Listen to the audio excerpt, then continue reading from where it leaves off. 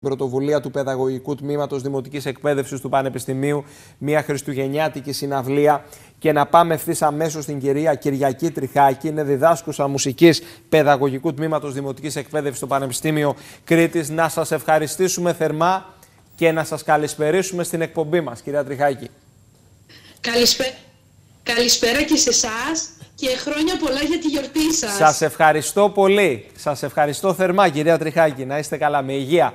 Λοιπόν, Κυριακή 11, Δεκεμβ...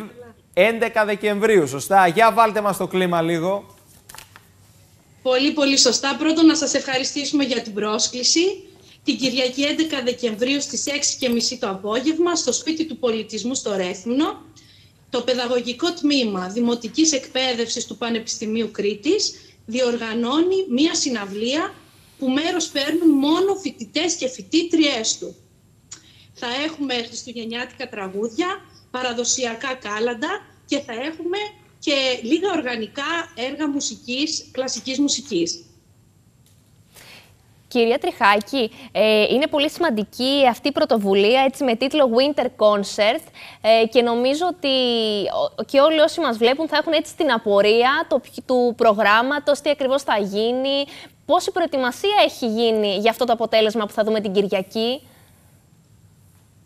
Αναφορικά με το πρόγραμμα θα σας κρατήσω σε αγωνία να έρθετε να μας ακούσετε. Σωστά. Έχει γίνει πάρα πολλή δουλειά, πάρα πολλή δουλειά, ειδικά από τους φοιτητές και τις φοιτήτριες. Είναι πάρα πολύ χαρούμενοι, περιμένουν πώς και πώς να γίνει. Έχουν δώσει όλο τους τον εαυτό και δεν μπορώ παρά να τους ευχαριστήσω από εδώ, διότι τα παιδιά, είναι πολύ σημαντικό που εμπλέκονται αυτά τα παιδιά σε αυτό, που αφιερώνουν χρόνο, που ε, αφήνουν πέρα τα διαβάσματα, αφήνουν τη φοιτητική του ζωή που οφείλουν να τη ζήσουν και συμμετέχουν ενεργά σε μια ομάδα.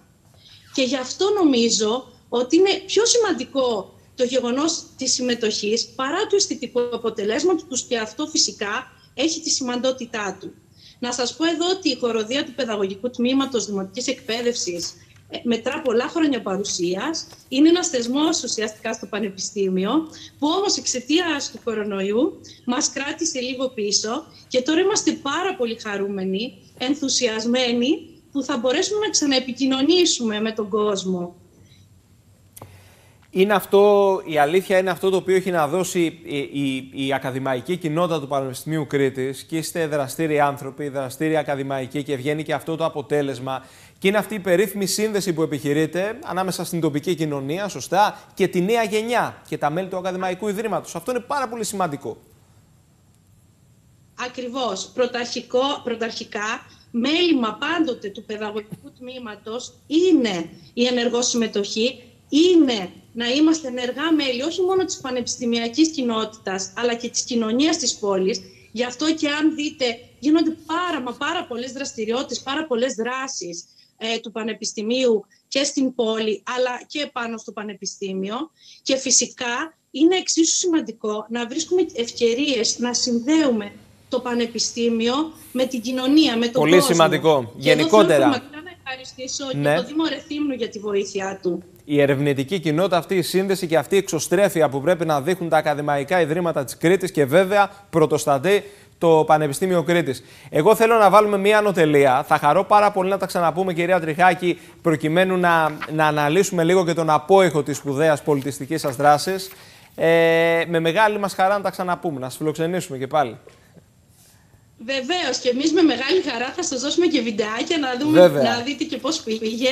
Και με μεγάλη χαρά να ξανασυνομιλήσουμε. Να είστε καλά. Καλό απόγευμα.